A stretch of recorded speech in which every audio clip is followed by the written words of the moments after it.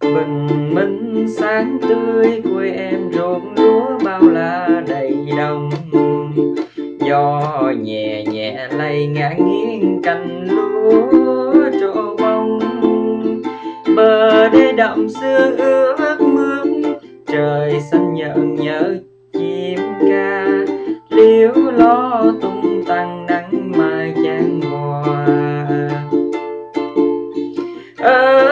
ơi, họ ơi họ ơi họ ơi. Em mời anh ghé thăm chốn đây một lần. Mời mời anh về quê em.